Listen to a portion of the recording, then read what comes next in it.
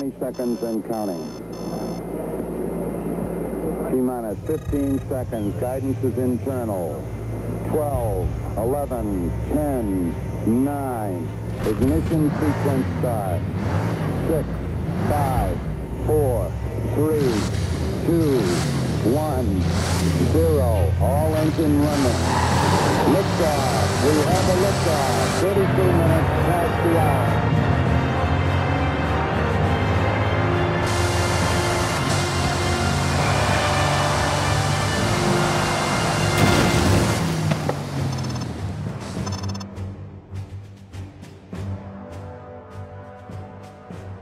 There were many technical achievements in transportation that changed the world forever.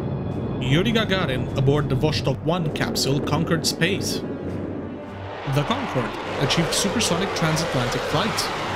But on land at least, nothing came even close to those moments, until Volkswagen decided to give a blank check to Bugatti.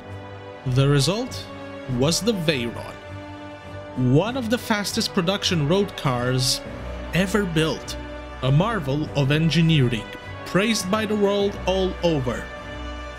Gordon Murray, chief designer of the McLaren F1, said about the Veyron during its development stages that, and I quote, the most pointless exercise on the planet has got to be this four-wheel drive 1000 horsepower Bugatti, end quote. But even he ended up liking it. Top Gear has covered the Veyron extensively, putting it up against an Eurofighter, drag racing it against a McLaren F1, and even attempting top speed records, so I do recommend you check their episodes for more details about it. In summary, the car was named after Pierre Veyron, Bugatti test driver and engineer and winner of the 1939 24-hour Le Mans alongside Jean-Pierre Wimille. And if he were alive to test drive it, he would simply exclaim, Mon Dieu!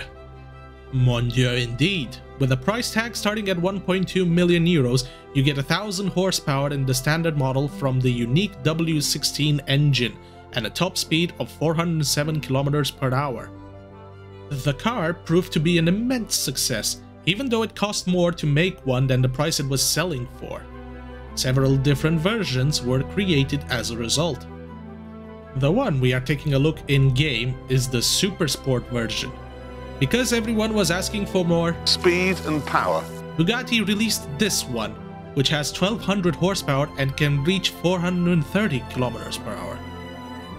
Sitting in the S2 class with 913 power rating, can Dapper Dan tame the 1200 horsepower W16 on the drumstick? And away he goes, and isn't that just a magnificent sight, seeing this two-ton powerhouse battling down around the meaty part of the circuit. But will that extra weight affect its handling characteristics? Honestly, I do not know, because this is a live voiceover done on the lap time. Also, keep in mind that all the laps that we are recording on the drumstick are done with the traction control and stability turned off. But so far, so good. It is blazing fast through this lap. Now we are going to reach the ankle part. Here is where things should get interesting. We might see a bit of understeer or loss of traction going in the second corner. Now through the S-bank. Nope, it's still on track. The weight is actually helping in this case, keeping the rubber planted to the tarmac as it takes the Bugatti to barrel across the line.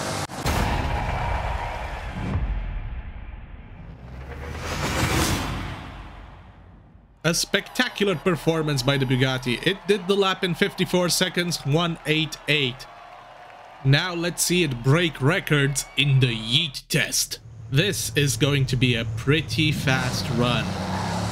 As he now battles down on the drag strip, let's see how much it gets on the speed camera. 228.58. God, that is quick.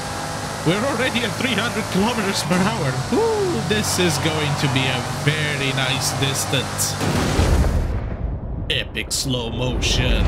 As it flies, and it flies, and it flies for 386.33 meters. To put that in perspective, that distance is greater than the height of the Empire State Building. Now, let's switch back to the leaderboards and see where the Bugatti stacks up. With such groundbreaking speeds, the Bugatti Veyron sits comfortably at the top of the leaderboards. Oh yeah, I also forgot to mention, the engine has 4 turbochargers because why not?